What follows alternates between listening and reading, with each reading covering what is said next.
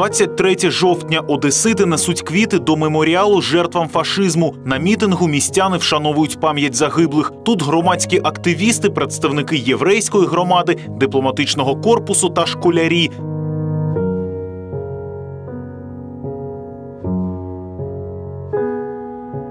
Ліліана Ізраїлівна про війну пам'ятає мало, була ще зовсім дитиною, але день, коли звільнили місто, досі стоїть перед очима. Утром нас разбудили и говорят, наши перешли. Это была радость со слезами на глазах. Помню, что голодали очень, что холодно очень было.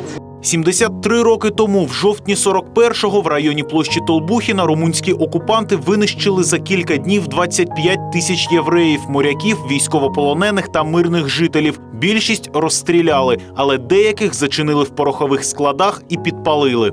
Фашисты свезли э, большое число евреев только, только лишь потому, что они евреи, они не совершали люди, которые не совершали никаких преступлений. Э, и здесь их закрыли в э, зданиях, пороховых складах. Эти склады подожгли.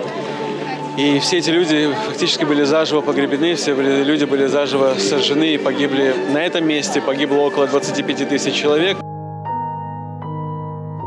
Наприкінці жовтня Голокост прокотився всім містом. Особливо багато людей було вбито в районі площі Толбухіна та Прохорівського скверу. Щоб увіковічити пам'ять в Одесі у всіх місцях масового знищення євреїв встановлюють пам'ятники і відкривають музеї. Головна мета зберегти пам'ять про ці жахливі події, щоб подібне ніколи не повторилося.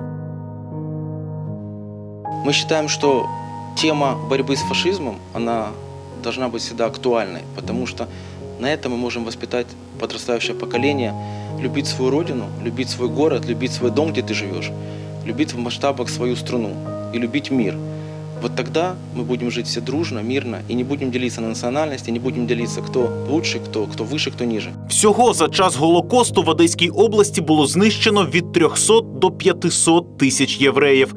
Віталій Мілевич, Максим Шпат, Євген Руденко. Підсумки тижня. Перший міський.